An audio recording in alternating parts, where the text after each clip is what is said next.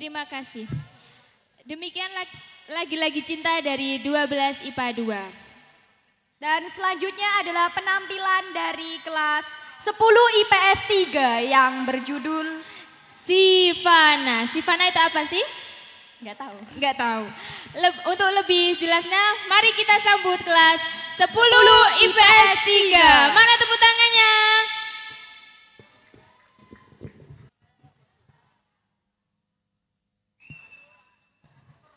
Assalamualaikum warahmatullahi wabarakatuh.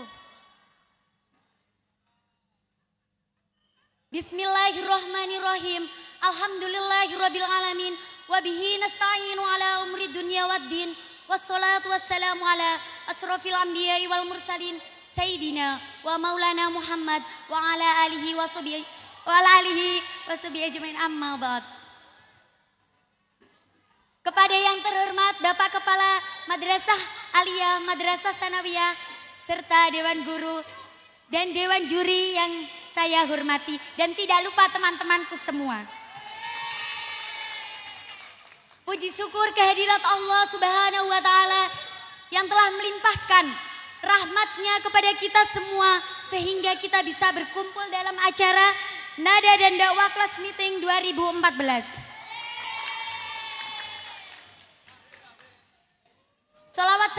Salam tak lupa kita haturkan kepada junjungan kita Nabi Agung Muhammad Sallallahu Alaihi Wasallam yang kita nantikan syafaatnya kelak di nanti. Saya di sini akan berbicara sedikit mengenai Sifana.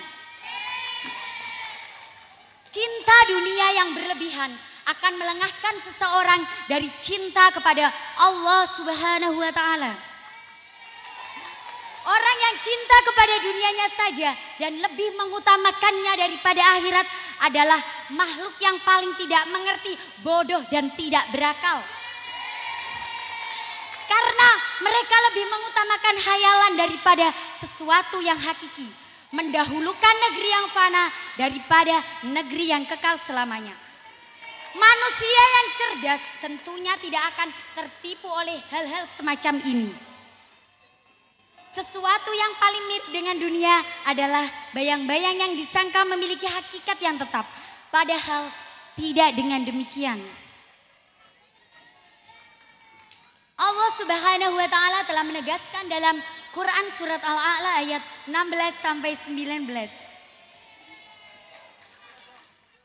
A'udzu billahi rajim. Bismillahirrahmanirrahim. Bal tu'sirunal hayatad dunya wal akhiratu khairu wa abqa. Inna hadza lafis suhufil ula suhufi Ibrahim wa Musa. Padahal kamu orang-orang kafir lebih memilih kehidupan dunia Padahal akhirat itulah yang lebih baik dan lebih kekal. Sesungguhnya ini sudah terdapat dalam kitab-kitab terdahulu, yaitu kitab Ibrahim dan Musa. Apakah kalian mau termasuk ke dalam orang-orang kafir? Kalau kalian tidak mau termasuk ke dalam orang-orang kafir, maka jangan memilih kehidupan dunia saja, tapi juga kehidupan akhirat. Alangkah baiknya sebelum nama kita ditambahi dengan almarhum, kita pergunakan hidup kita untuk mencapai kebahagiaan dunia dan akhirat. Lalu bagaimana caranya agar kita dapat memperoleh kebahagiaan dunia dan akhirat?